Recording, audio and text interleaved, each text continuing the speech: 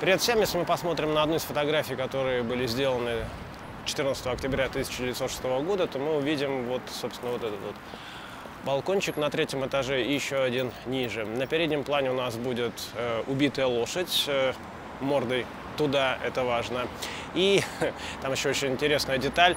А, в окно смотрит э, один из, так сказать, стражей правопорядка. Речь идет о знаменитом э, эксе в фонарном переулке.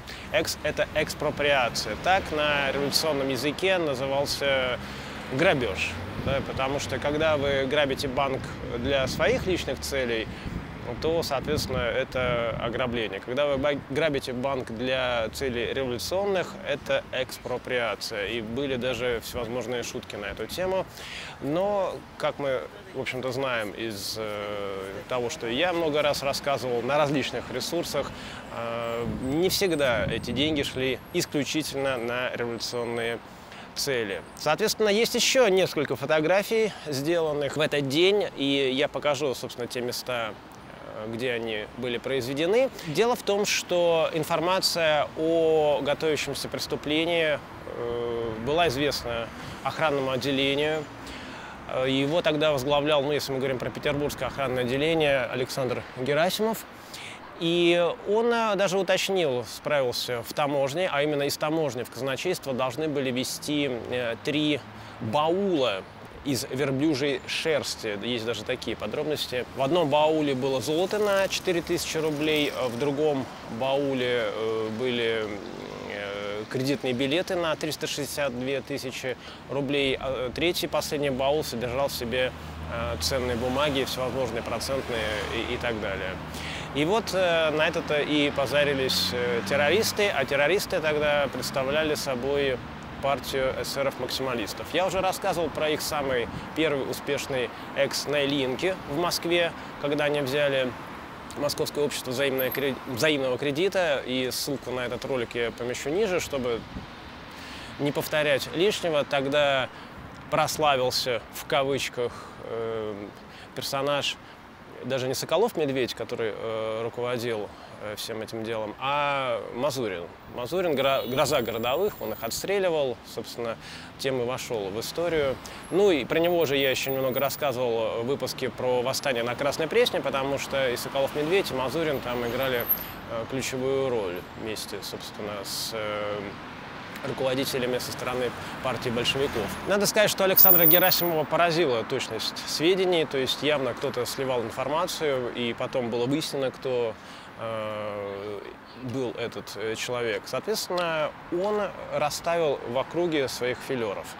Они должны были следить за происходящим вокруг и задерживать всех подозрительных людей. Но как потом писал один из них, то есть как ты тут кого-то угадаешь, кто из них подозрительный, кто нет. Например, э, тогда был дождь, мы знаем об этом из воспоминаний, и один из агентов охранного отделения прятался в подворотне с э, каким-то человеком, они даже разговорились, и вдруг, когда все началось, он первый, собственно, бомбу и кинул.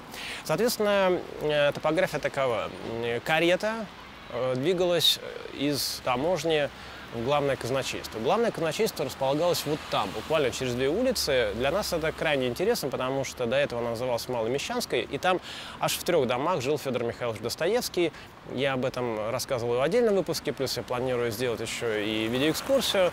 Э, в одном из домов на углу с каналом Грибоедова э, была даже редакция сначала журнала «Время», а потом, когда его прикрыли, журнала «Эпоха», который э, они сначала издавали со своим старшим братом Михаилом, потом, когда Михаил умер, Достоевский начал пытаться издавать его сам, но, в общем-то, не потянул и прогорел на этом деле. А в другом доме он познакомился со своей женой Анной Григорьевной Сниткиной, ну еще в одном доме он тоже жил, только уже с углом э, в угловом на другую сторону канала. И вот, собственно, в этом же доме потом было организовано главное казначейство, и поэтому улица получила название Казначейская, собственно, и сейчас она такое название и носит. Более того, вот если мы пойдем туда, к Львиному мостику, и свернем направо, то там, э, вот я когда ходил э, на занятия на военной кафедре э, при университете телекоммуникации имени М.А. Бонч-Бруевича, то я обращал внимание на такие огромные ворота, причем которые вмонтированы э, в жилой дом. На самом деле это жилой дом был надстроен над э, тем зданием, которое когда-то являлось э, Казанской полицейской частью. Это был свежий дом, то есть, грубо говоря, не знаю, районное управление полиции, я уж не знаю, как это сказать на, на, на, на, наш, на наш язык, как перевести. И то есть здесь было главное районное управление, тут вот казначейство, э, вокруг агента охраны, казалось бы, ничто не предвещало. Тем не менее, террористы тщательно подготовились, они проследили эту карету, Значит, э, двое из них стояли вот там на банковском, не на банковском, извините, на львином мостике. У нас есть просто их два одинаковых. Банковский мостик и львиный мостик. Кстати, банковский мостик часто называют э, львом с грифонами. Это неправда. Там не грифоны, там крылатые львы. А там просто львы. Соответственно, двое стояли там, двое стояли на Казанской.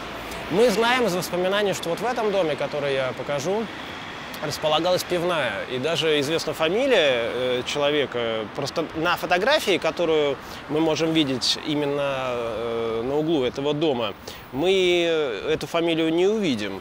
А вот э, в показаниях и в, в заметках газетных мы ее знаем. Пивная лавка Грибкова. Да, то есть мы знаем даже фамилию владельца, она была угловой. Был еще ресторан, который э, смотрел фактически в створ Казанской улицы. Вот она вот там отходит направо.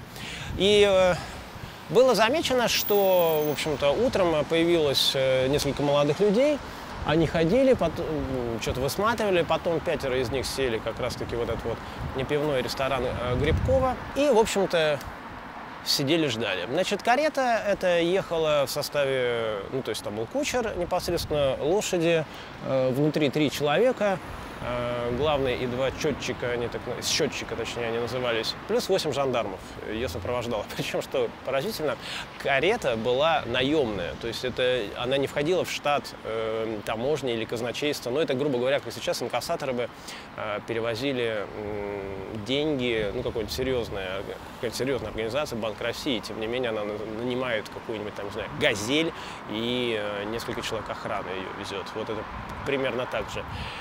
И когда они, соответственно, подъезжали по каналу Грибоеду вот в ту сторону, э, все это произошло мгновенно. Значит, э, была кинута сначала одна бомба. От ее взрыва лошади, на которых ехали жандармы, испугались и понесли в стороны. Они не смогли их сдержать даже при помощи своих шпор. Далее была кинута другая бомба. Моментально выскочило несколько человек, схватили мешки, но они взяли только два мешка, третий они не утащили. Перекинули в карету, в которую сидела дама под вуалью. Эта дама под вуалью была Адель Коган, так ее звали. Она была единственной девушкой э, в этом достаточно, кстати, многонациональном составе э, преступников. Там были и русские, и евреи, и украинцы. Все, кстати, молодые, где-то средний возраст был от 18 до 20 лет. Э, кинули эти два мешка, и их след простыл. Естественно, тут же значит, погнались за рассыпавшимися преступниками по всему городу. Тут э, кого-то, соответственно, взяли в Максимилиановском переулке, это нынешний переулок э, Пирогова, ну как взяли, в мертвом состоянии уже. Кого-то аж на Мариинской площади, так тогда называлась нынешняя Исаакиевская площадь, это прямо перед Мариинским дворцом, где у нас сейчас законодательное собрание заседает. Там тоже человек застрелился.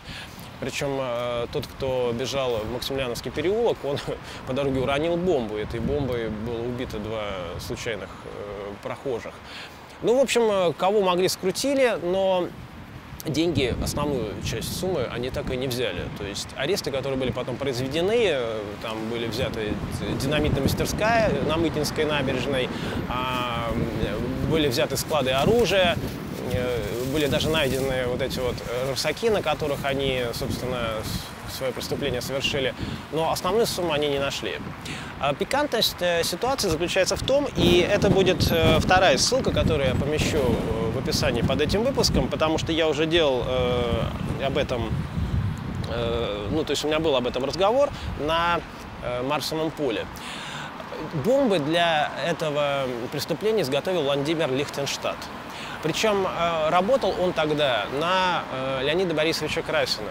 Дело в том, что большевики, они, ну, официально, конечно, террор не поддерживали, терроризм, но, тем не менее, существовал боевой центр, я так ни разу о нем нигде не рассказал подробно, хотя он написан во многих воспоминаниях, там и у Буренина есть, и даже в книгах про самого Красина, еще даже советских мы можем найти об этом упоминание, хотя, казалось бы, мы там пойдем другим путем и все такое прочее.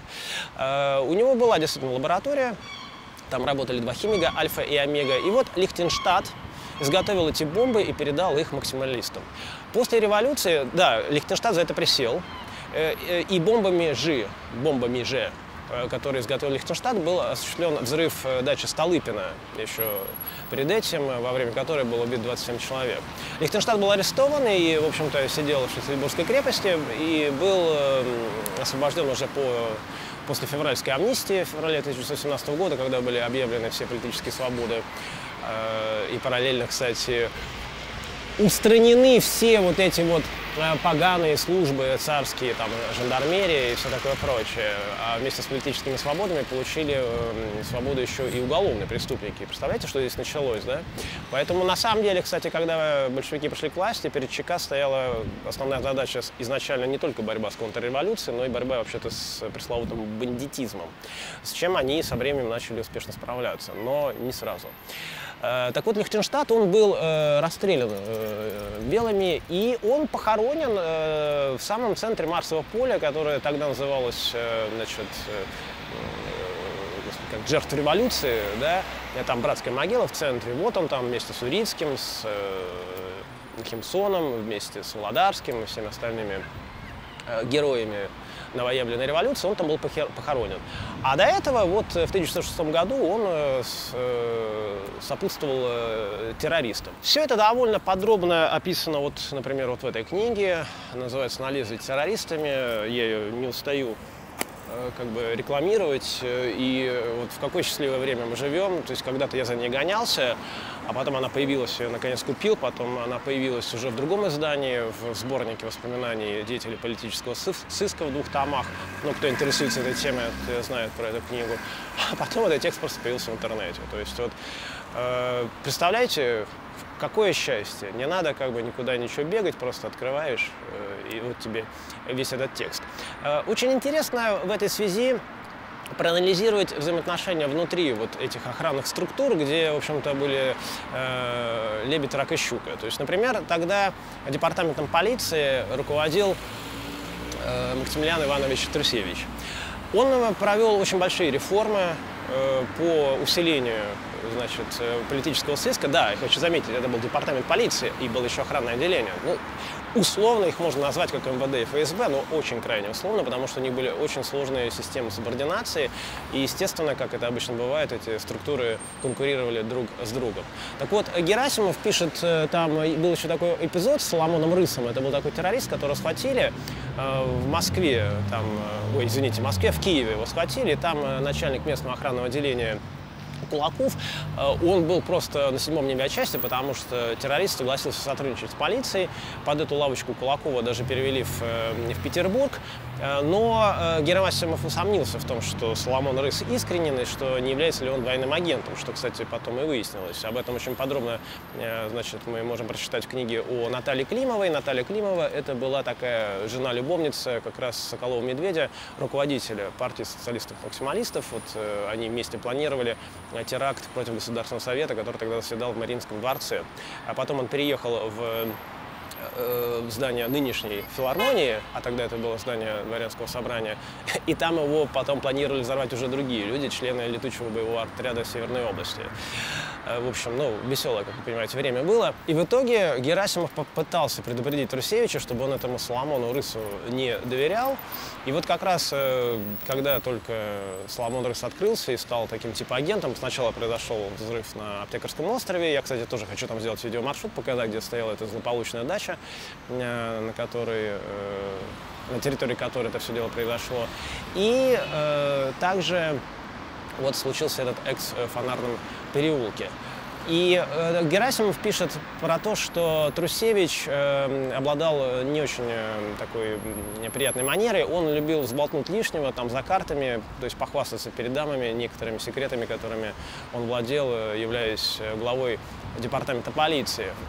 Между тем, э, будущий уже на тот момент э, начальник московского охранного отделения Мартынов отзывается о Трусевиче крайне лестно и говорит, что если бы не он, на самом деле, то вообще бы то есть был полный развал и разруха, и увольнение Трусевича с его должности нанесло колоссальный вред политическому сыску страны.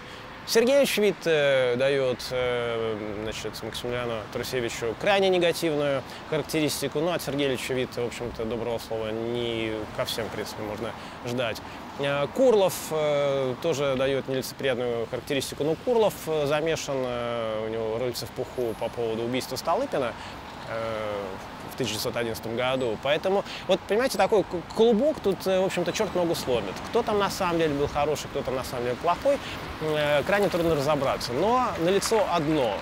Налицо одно, что в самом центре Петербурга, в этом самом, э, ну, это считается экс-фонарном переулке, но он как бы случился на углу канала Грибоедова, нынешнего тогда он назывался Екатерининским, да, туда начинается Большая Подьяческая, а то начинается фонарный. То есть в самом начале фонарного переулка случается ограбление, которое тогда иначе как ограбление века не трактовалось. В центре столицы, да, Петербург был столицей, на глазах у сотрудников внутренних служб, э, служб безопасности, ну то есть охранное отделение, очень условно можно назвать ФСБ. Самая главная цель – деньги потом не найдены. Да, основная часть э, террористов были пойманы, Э, приговорены, естественно, к смертной казни и были повешены на шестой батарее в Кронштадте. То есть вешали не только у нас э, в Шлиссельбурге, в Лисимносу, э, но вот и в Кронштадте, например, это тоже происходило. Соответственно, не мудрено, что с таким подходом, с такой неразберихой в рядах охранных служб случилось то, что случилось в 1917 году. Это то, что я вам хотел сегодня рассказать. Ну так, вкратце, да, там можно, конечно, вдаваться в определенные детали. Хочу напомнить вам, что идут экскурсии в Петербурге, в том числе и про дореволюционный терроризм, потому что, например, вот там, вот если мы перейдем да, на следующую улицу, на Вознесенский проспект, там на углу есть дом, который э, ну, является одним из главных в истории партии «Народная воля», потому что там делались бомбы для убийства Александра II. Это все есть и в описании Веры Фигнер, и в описании других э, народовольцев. Далее, если мы пойдем э, туда, то мы придем, ну, в общем-то, к дому старых и процентщицы, а если мы пойдем туда и налево, то по той же самой э, Маломещанской, ныне Казначейской, повернем в Столярный переулок, мы придем к дому, с, э, господи, Раскольникова, где буквально вот недавно сводил очередную экскурсию. Поэтому экскурсии идут, среда-четверг, 8 часов вечера, суббота, воскресенье 20.00. У нас будет и про Петербург э, Путина, кстати, покажу э, место, где была самая первая динамитная мастерская народная воля. У нас будет, вот мы пойдем как раз примерно в ту сторону, я расскажу про роковую женщину Аврору Шарнваль, похоронившую трех своих мужей по, по факту, да, ну один был как бы жених, но неважно, про Набокова, э, про Корида Половцева или Половцова, кстати, по-разному называют, про Пашковцев и княгиню Гагарину. В общем, ну, такие не, самые известные факты вокруг Исаакиевской а, площади. В субботу у нас будет интересная экскурсия по дворам и дойдем до Большого дома, где, собственно, располагается нынешняя ФСБ, когда-то НКВД УГПУ, а до этого там было здание окружного суда, где был знаменитый суд над Верой Засулич. Ну, а в воскресенье от э, декабристов и террористов будем гулять от Исаакиевской площади вдоль Александровского э, сада до того места на углу Горохова и Адмиралтейского проспекта, Гороховый дом 2, где когда-то был дом градоначальника, где, собственно, Вера Засулич этот выстрел совершила, а потом это был самый первый адрес чрезвычайной комиссии, но большевистской, потому что ЧК было организовано не большевиками. Об этом я тоже как-нибудь расскажу, потому что это имеет отношение к поэту Александру Блоку. А, задавайте ваши вопросы, пишите комментарии. Ссылки на все мои ресурсы есть э, внизу. Вот там увидимся. С вами был, собственно, гид Павел Перец. Пока.